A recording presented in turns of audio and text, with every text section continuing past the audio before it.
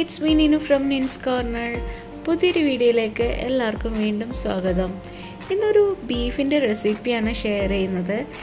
Beef തോരൻ. Beef തോരൻ നമ്മൾ അധികം ആരും അങ്ങ് വീട്ടിൽ ഉണ്ടാക്കാറില്ല. അപ്പോൾ ഇതൊരു നല്ല ടേസ്റ്റി ആയിട്ടുള്ളൊരു ഡിഷാണ്. ഈസി ആയിട്ട് ചെയ്തെടുക്കാൻ പറ്റുന്ന ഒരു റെസിപ്പി കൂടിയാണ്. അപ്പോൾ വീഡിയോ എല്ലാവരും മുഴുവനായി കാണണം. പിന്നെ എന്റെ ചാനൽ ആദ്യമായിട്ടാണ് കാണണമെങ്കിൽ ഒന്ന് സബ്സ്ക്രൈബ് ചെയ്യാൻ മറക്കല്ലേ? അപ്പോൾ ഇഷ്ടപ്പെട്ട ലൈക്കും ചെയ്യണം. അപ്പോൾ നമുക്കിതെങ്ങനെ തയ്യാറാക്കിയെന്ന് നോക്കാം.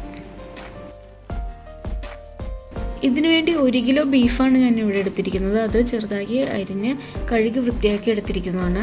അതിലേക്ക് ചതച്ച വെളുത്തുള്ളി ഇഞ്ചി ചേർത്ത് കൊടുക്കണം. ഒന്നര ടീസ്പൂണോളം കാശ്മീരി ചില്ലി പൗഡറും ഒരു ടീസ്പൂൺ മല്ലിപ്പൊടിയും ഒരു ടേബിൾ സ്പൂൺ കുരുമുളക് പൊടിയും കുറച്ച് മീറ്റ് മസാല ഞാൻ ആഡ് ചെയ്ത് കൊടുത്തിട്ടുണ്ട്.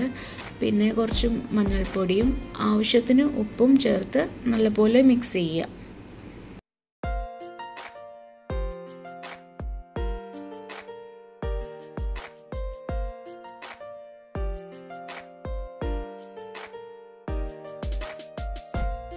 ഇനി ഇതിലേക്ക് ചേർത്ത് കൊടുക്കാനുള്ളത് തേങ്ങയാണ്.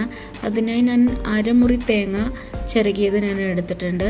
അപ്പോൾ തേങ്ങയുടെ അളവ് നിങ്ങളുടെ ടേസ്റ്റിനനുസരിച്ച് കൂട്ടുകയോ കുറയ്ക്കുകയൊക്കെ ചെയ്യാം. ഞാനൊരു അരമുറി ഇവിടെ എടുത്തിട്ടുണ്ട്. അപ്പോൾ അതും നല്ലപോലെ കൈവച്ച് തിരുമ്മി നല്ലപോലെ എല്ലാം യോജിപ്പിച്ചെടുക്കുക.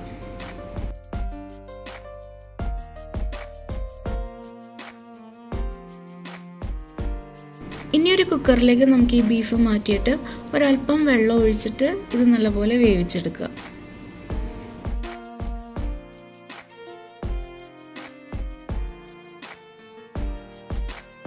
നമ്മുടെ ബീഫ് ഇവിടെ നല്ലപോലെ വെന്ത് റെഡി ആയിട്ടുണ്ട്. അപ്പോൾ ഇനി ഇതിലേക്ക് കുറച്ച് വെള്ളമുണ്ട്. അപ്പോൾ അത് പ്രശ്നമില്ല. അത് വേറൊരു പാനിലേക്ക് നമ്മൾക്ക് മാറ്റിയിട്ട് റെഡിയാക്കി എടുക്കാവുന്നതാണ്. അപ്പോൾ ഇനി ഇതിലേക്ക് ചേർത്ത് കൊടുക്കാവുന്നത് മുട്ടയാണ്. അതിനായി ഞാൻ ഒരു മുട്ട ഇവിടെ ഉടച്ചെടുത്തിട്ടുണ്ട്. അത് ഇതേപോലെ ഒന്ന് ഒഴിച്ച് ഇതിൽ നല്ലപോലെ ഒന്ന് യോജിപ്പിച്ചെടുക്കുക. ഫ്ലെയിം ഓഫിലാണ് ഇരിക്കുന്നത്. നമ്മുടെ ബീഫ് വെന്തിരിക്കുന്ന ബീഫാണ് അപ്പോൾ മുട്ട ഇതേപോലെ ഒന്ന് ഒഴിച്ച് എല്ലാവരും ഒന്ന് യോജിപ്പിച്ചെടുക്കുക.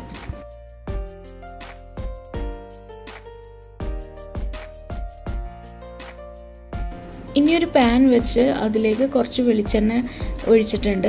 അപ്പോൾ ഇതിനു വേണ്ടി വെളിച്ചെണ്ണ എടുക്കുന്നതായിരിക്കും നല്ലത്. നല്ല കുറച്ചുകൂടി ടേസ്റ്റ് ആയിരിക്കും. അപ്പോൾ ആ എണ്ണ ചൂടാകുമ്പോഴത്തേക്കും കുറച്ച് ചതച്ച വെളുത്തുള്ളി ഇട്ട് നല്ല ഉള്ളി നല്ല പോലെ ഒന്ന് മുരിച്ചെടുക്കുക. വെളുത്തുള്ളി നല്ലപോലെ മുരിഞ്ഞു കഴിയുമ്പോഴേക്കും ഒരു വലിയ സവാള ചെറുതാക്കി അരിഞ്ഞത് അതും ചേർത്ത് കൊടുത്ത് കറിവേപ്പിലയും ഒക്കെ ഇട്ട് നല്ലപോലെ ഒന്ന് സോട്ട് ചെയ്യുക.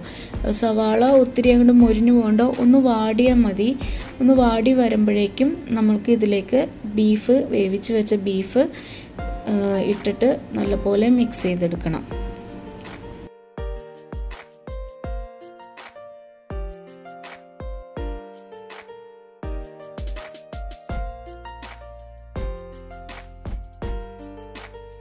ഇനി മീഡിയം ഫ്ലെയിമിൽ കിടന്ന് ഈ ബീഫിന്റെ സ്റ്റോക്കൊക്കെ വറ്റി നല്ല ഡ്രൈ ആക്കി എടുക്കണം.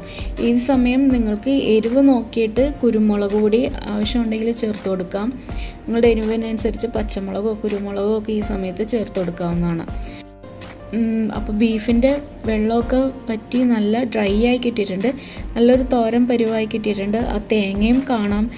തേങ്ങയൊന്നും ഡ്രൈ മറ്റേ ഫ്രൈ ആയി പോയിട്ടില്ല. നമ്മൾ ബീഫിലിട്ട് വേവിച്ചെടുത്തത് കൊണ്ട് ആ തേങ്ങ അങ്ങനെ തന്നെ കിടക്കുന്നുണ്ട്. അപ്പോൾ അത് കടിക്കുമ്പോൾ നല്ലൊരു ടേസ്റ്റുമാണ്. ഇത് ഈസി ആയിട്ട് ചെയ്തെടുക്കാൻ പറ്റുന്ന ഒരു റെസിപ്പിയാണ്. എല്ലാവരും വീട്ടിലൊന്ന് ട്രൈ ചെയ്ത് നോക്കണം. ചോറിന്റെ കൂടെ നെയ്ച്ചോറിന്റെ കൂടെയൊക്കെ സൈഡായിട്ട് പോകാൻ പറ്റുന്നൊരു സൂപ്പർ ഐറ്റമാണ്. അപ്പോൾ വീഡിയോ ഇഷ്ടപ്പെട്ടു എന്ന് വിചാരിക്കുന്നു. ഇഷ്ടപ്പെട്ടാൽ ലൈക്ക് ചെയ്യാൻ മറക്കരുത്. എന്റെ ചാനൽ ആദ്യമായിട്ടൊക്കെ കാണണമെങ്കിൽ ഒന്ന് സബ്സ്ക്രൈബ് ചെയ്ത് സപ്പോർട്ട് ചെയ്യണേ. നിങ്ങളുടെ കമന്റുകളൊക്കെ അറിയിക്കുകയും ചെയ്യണം. അപ്പോൾ നല്ലൊരു വീഡിയോ ആയിട്ട് വരുന്നവരെ ബൈ ഓൾ ടേക്ക് കെയർ